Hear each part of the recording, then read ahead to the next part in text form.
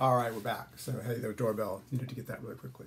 All right, so that blue box represents my control volume. It represents the throttling valve. And for sure, I have energy coming in with mass and energy going out with mass. Hey, any work? Well, no fans, no pumps, no turbine uh, blades, no shafts um, for compressors, etc. So there's no work. What about heat transfer? Well, you might think it would depend on whether the fluid going through there is warmer or cooler than the outside, and that thought's absolutely right. But another thing to note is that these throttling valves, as you see them, are usually really, really short. So the fluid does not spend that much time inside the valve and therefore cannot pick up that much heat. So no heat transfer. So in theory, in, of all the devices that we've done, compressor, turbine, pipe, uh, some of you who did homework uh, number eight, part one, the previous video, video did diffusers and nozzles. This is the easiest one. There's just m.e1 in and m.e2 out. Okay. How is that going to actually simplify? Well, I'll write it all out quickly for you. You can see that m.e1 and m.e2 are, are equal, and so the m dots are going to cancel. So really, if we had a throttling valve equation, it would be E1 equals E2. But writing that out for you,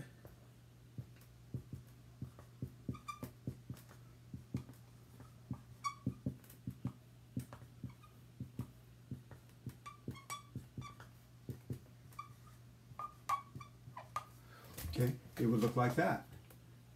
Enthalpy plus kinetic plus potential equals enthalpy plus kinetic plus potential. And then what we always try to do is say, hey, is anything, are any of those changes insignificant? Well, for sure, we can eliminate the potential terms. Those throttling valves are either horizontal or they're very short, so there's very little uh, dif difference in potential energy. It's always true. Okay, how about the kinetic energy terms? Well, it turns out that the if uh, for some fluids it can speed up or slow down as it goes through, but you'll notice that it's not like a nozzle or a diffuser where we have a big change in inlet area and outlet area. And many times these are these throttling valves are made with the inlet and outlet area so that there's very little change in velocity. So we can eliminate that. Okay. Now it's not true that these are absolutely equal; they're close. But what we can say is that they're close enough that we can say, hey,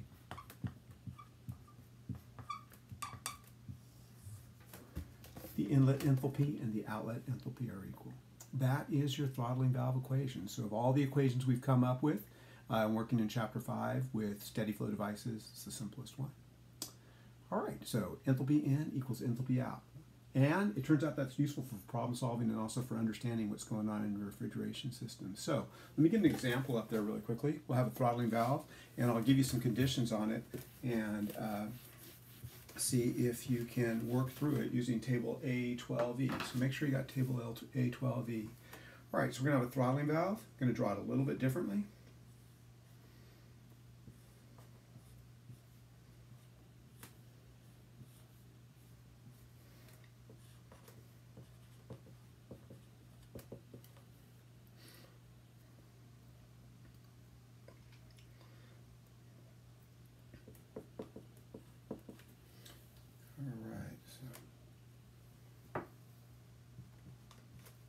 Great, thanks for your patience. So here's the inlet conditions. We've got pretty high pressure, okay, and we got what kind of state coming in? A saturated liquid. That's what I said earlier. If you can somehow, say, have a tank with R134A at pretty high pressure in a saturated liquid, and then you put it through a throttling valve, it's going to work. You're going to get something over here that can then go into your refrigerator and can cool things off. Great. All right, outlet conditions. Well, throttling valve. By the way, notice that I drew it a different way. This is a restriction, so it's the same idea. We have a restriction so that when the refrigerant goes through, it loses pressure. And we're going to do an outlet pressure in this case of 35 psia. Okay, so what I want you guys to work on is two things. I want us to get the refrigerant delta T as it goes through there, and I would like us to get, in addition, the quality at the outlet. So I'm going to call this one, and I'm going to call this two. All right, so maybe shut off the video and take a look at table A12E. Always, you know, one, two things that you should be doing when we're doing these steady flow devices is saying, hey, is there any other information we can get about the inlet state or the outlet state that is relevant? and um, then we can, could we apply the first law? So I would look at the inlet state. You need delta T, so could you get the temperature at this inlet state? So I'll be getting that up there. Go for it.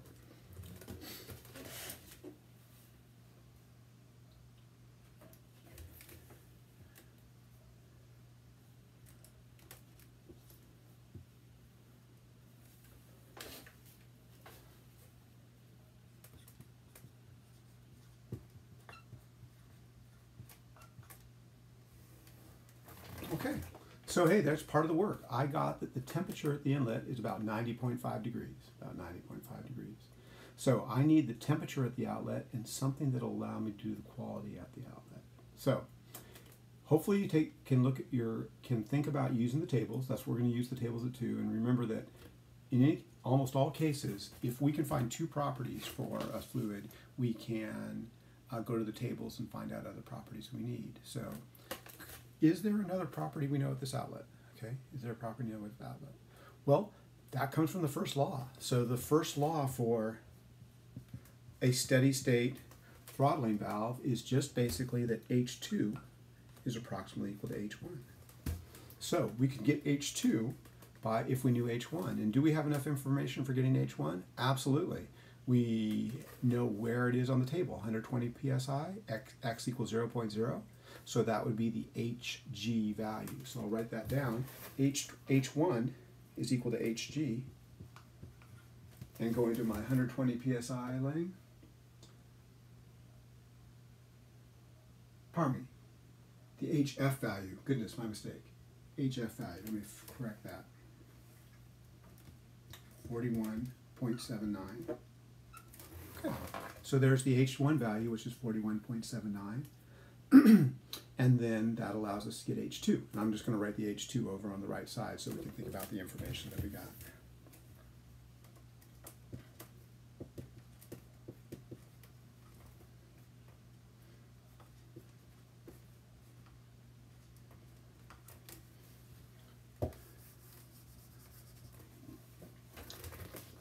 All right, then you're back to reading the tables. I got some R134A, it's 35 psi.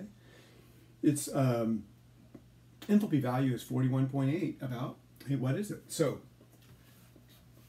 go over to A12 and look at 35 psia. The HF value is 19, about 19.3. The HG value is 106.37. So the given value, our H2 value, is in between the HF and HG value. So that means over here we have a saturated mixture.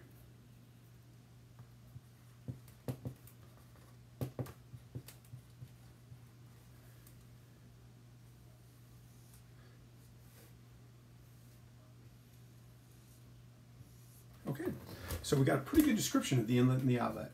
We know that it comes in hot, comes in high pressure, goes through the throttling valve, loses pressure, comes out at a lower pressure, but has the same enthalpy. There's nothing that really robs energy from it as it goes through, and nothing that really gives it energy from as it goes through.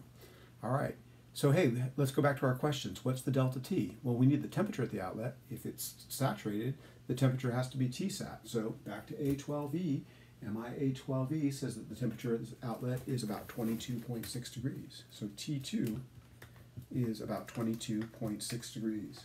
22.57 to be precise. So, now that, my friends, is something pretty challenging to get your mind around. I could take some 90.5 degree stuff and then just put it through a restriction and all of a sudden it drops by a tremendous amount. It's really cool. It's pretty amazing when you actually work with these systems. You can actually feel this pipe here sometimes and it's pretty warm to the touch. And then over here on this other side, you actually sometimes have frost occurring on it. It really drops in temperature. And you can actually look at that inside your refrigerator. We might take a look at that a little bit later on in the semester. In short, what's going on is as we go through, we have a saturated liquid, we lower the pressure, and saturated means about to evaporate. As we lower the pressure, the we get some of the refrigerant evaporating. Okay, some of the refrigerator evaporating, and that takes energy. So if that refrigerator is if that refrigerant's evaporating, that ref, energy actually comes from the refrigerant itself, and its temperature ends up lowering. Pretty interesting thing to think about. Regardless, the numbers say that it comes out really cold, and that is the fact. That is a fact. All right, so let's finish it off really quick. We want to get our delta T, which would be T2 minus T1, and you can crank through that yourself. I'll do that really quickly. T2 minus T1.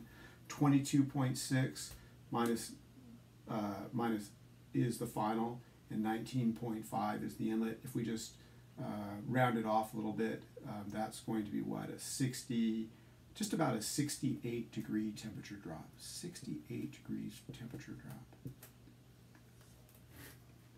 Yeah, 68 degrees. So where, you know, where in the world are you going to get a 68 degree temperature drop in a matter of a lot of times this length is like an inch. Something drops in an inch. It's just an amazing fact that people figured out that sometimes if you take if you put a if you put a fluid in a situation where it can evaporate with a with pressure drop, it cools incredibly. All right, last thing is to get the quality at the outlet. Well, we have H2 and we know our equation for a quality. We'll remind you of a mixture. So H of a mixture is equal to HF plus x times hfg. And so we can solve for x. The quality, okay, is equal to our h2 minus hf all over hfg. Okay. H2 is the same as H1, so that's that 41.79. And give me a second to go to the tables. Uh, HF, 19.274.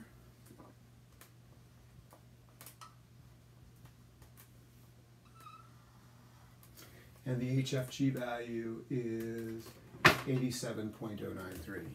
87.093.